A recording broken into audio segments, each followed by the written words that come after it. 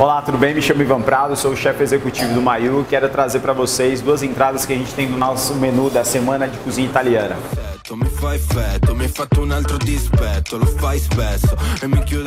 A primeira entrada é o gnu.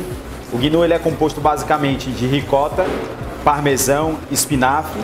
E aí a gente tem tipo uma esfera, como se fosse uma bolinha, que parece um nhoque de ricota, que levemente cozida em água ou no forno e a gente serve esse nhoque de ricota com basicamente o nosso molho de tomate, feito tradicionalmente com tomate pelado italiano. É, cebola, alho, se quiser adicionar bacon, fica a seu critério. Basicamente a gente utiliza esses três ingredientes, que é cebola, alho é, e manjericão, tá? E o outro elemento também de finalização, que é um outro molho, que é um molho pesto, que é um molho clássico italiano, geralmente feito com pinhole, mas a gente faz uma tradicional com é, castanha de caju e aí vai outros elementos como alho, azeite, parmesão e o principal que é o que dá o sabor e a característica que é o manjericão. Então a gente tem a nossa preparação, basicamente a gente dispôs o nosso molho de tomate, é, como eu falei, o gnude a gente levemente ao forno, ele foi assado e aí a gente finaliza com o nosso molho pesto, como eu expliquei anteriormente como é que faz, tá? Para acabar a finalização, folhinha de manjericão, tá? É, o ideal, se puder comprar um manjericão tradicional, aquele da folhinha maior, fica mais bonito. E aí a gente dispõe também uma torradinha, que lógico com molho de tomate a gente não pode deixar é, de ter, tá bom? Essa é a nossa entrada de gnocchi.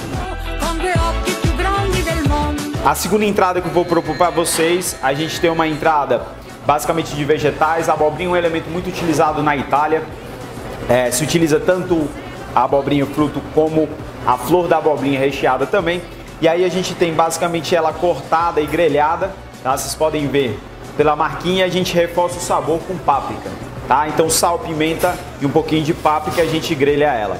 Depois isso vai acompanhar um molho, que é um molho básico, uh, feito à base de gema, manteiga e maracujá. Essa é uma forma do nosso toque tradicional da culinária cearense, ou melhor, brasileira, num prato clássico. O nosso papel aqui como restaurante é fazer essa fusão, essa mescla é, entre ingredientes e preparações.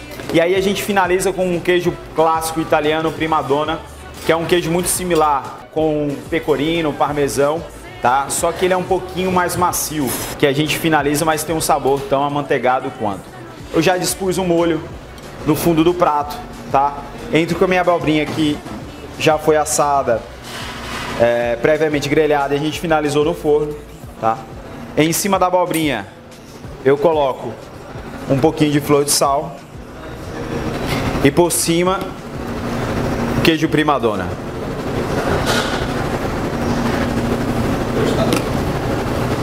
Acompanhando a gente faz uma crostata como se fosse um pão bem fininho, base de basicamente de farinha é, de trigo, um pouquinho de sal, um pouquinho de azeite, é, água e sal e açúcar, desculpa, e a gente finaliza ela um pouquinho com parmesão, tá? Abobrinha com zabaione de maracujá e primadona. O nosso restaurante ele tem a proposta de trabalhar exatamente essas culinárias, tanto italiana quanto francesa, quanto asiática, quanto a cozinha do Mediterrâneo principal, sempre a nossa versão, a nossa interpretação dessa culinária feitas do outro lado do mundo e o principal, sempre com a nossa evolução, com o nosso aspecto do nosso ingrediente local, nosso produto local, já que existe uma cadeia produtiva. Se vocês gostaram desse nosso menu, não só dessas duas entradas como outras, convido vocês a conhecer o restaurante Maior, que fica no prédio do Senac Reference. A gente funciona de segunda a sábado, tá? No horário do almoço, de terça a sábado, no horário do jantar. O jantar a gente faz um menu degustação, que é uma narrativa é, de 12 passos, ou melhor, 12 pratos com a nossa é, interpretação da culinária local. E é isso.